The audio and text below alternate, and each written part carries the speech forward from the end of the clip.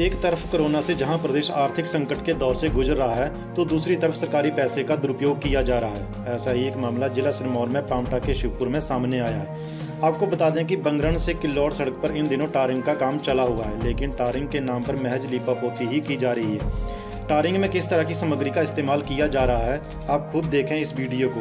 आपको सारा मामला समझ आ जाएगा। टारिंग की घटिया सामग्री को देखते हुए ग्रामीणों ने कार्य बंद करवा दिया है। ग्रामीणों ने एक दिन पहले हुई टारिंग को हाथ से ही उखाड़ दिया, जिससे ये साफ़ ज़ाहिर हो रहा है कि इसकी गुणवत्ता कैसी होगी। इसलिए सीधे सीधे सवाल विभाग की कार्य प्रणाली पर उठ रहे हैं। हैरानी की बात है कि विभाग भी इस सारे मामले पर चुप्पी साधे हुए है। उधर प्रदेश कांग्रेस महासचिव अनिंदर सिंह नौटी ने बताया कि सरकार को इस तरह जनता के पैसों का दुरुपयोग नहीं करना चाहिए। उन्होंने बताया कि सड़क पर लग रहे मटेरियल की गुणवत्ता ठीक नहीं है। इस बारे में एक्सीएन के एल चौधरी ने बताया कि सड़क की टारिंग उखड़ी है, जिसे देखते हुए काम रोक दिया है, जो बरसात के बाद किया जाएगा। इतनी जो मुख्य सड़क है, इस पर आवागमन है, सैकड़ों गाँव का शहर से इसी रास्ते से आना जाना है, और रातों रात सड़क टूटनी शुरू हो गई।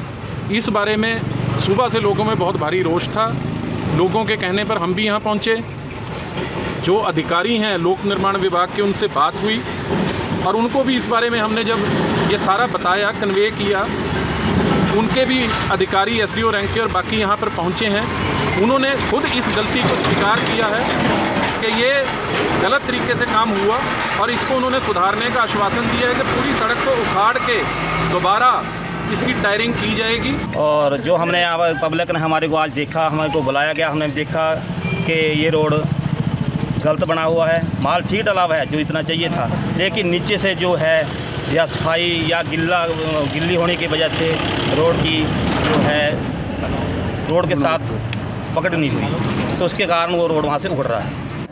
इसके ऊपर जो तारीख चली हुई है हमने उसको रोक लिया है।